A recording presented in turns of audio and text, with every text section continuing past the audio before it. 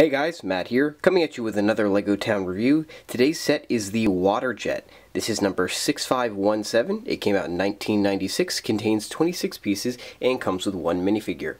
And this is the one minifigure you get. He is the jet ski pilot or driver.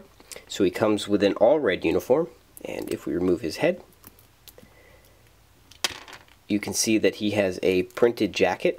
And it's a very simple jacket, it's just got some little stars on it as well as a zipper and some pockets with no back printing.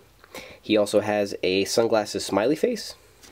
And then he comes with a life preserver that slips on right over his neck. And then this helmet here which has these stars and red stripes on the top as well as a transparent blue visor. So that's your minifigure then you also get these two buoys here, one red and one green, and these are meant to map out the areas of the, I'm assuming jet ski course, or where the jet ski can and cannot go. So pretty simple, they just kind of rest on the surface, and because they have these rounded bottoms, they can be positioned at different angles, just like they're rocking on the surface of the water. And of course, you get the jet ski. And this is pretty simple. Uh, there are stickers that come with the set, but they aren't applied. I did get the original sticker sheet though. You do get two printed elements though. You get this number three printed sort of cockpit element here, and then this star two by three sloped element here. And that creates a very nice sort of shape on the front.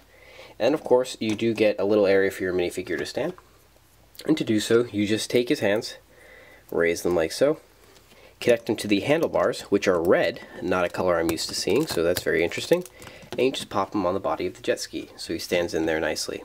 You do get some details on the bottom. So you get these that are meant to be the jets that propel the jet ski, and then this little reverse tile that allows it to coast across the surface. Now, I do rather like this set. I think it's very simple, yet I think it works very well in what would be an existing sort of town setting.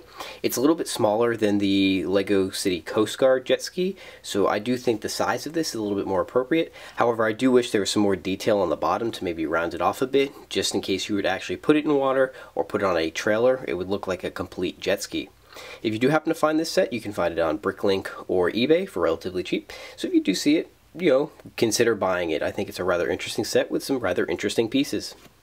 I hope you guys enjoyed the video. Remember to like, comment, favorite, and as always, please subscribe, and I'll see you guys again soon. Take care.